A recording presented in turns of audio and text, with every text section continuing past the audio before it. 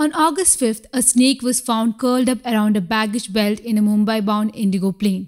The incident took place in the evening when a snake was spotted inside the plane that arrived in Kolkata from Raipur. It was first spotted by a baggage handler who was at the scene before the departure of the flight to Mumbai. Later, he informed the officials about the matter. They also instructed the passengers and others who were present at the scene to clear out. It was reported that it was a non venomous rat snake. The officials sought help from the forest department and they rescued the reptile. The Calcutta airport official said that the snake might have entered the area when the baggage was being loaded off of the flight. The video of the occurrence captured by the journalist Tarun Shukla has gone viral on the internet. He later added to his post that nobody was harmed in the incident.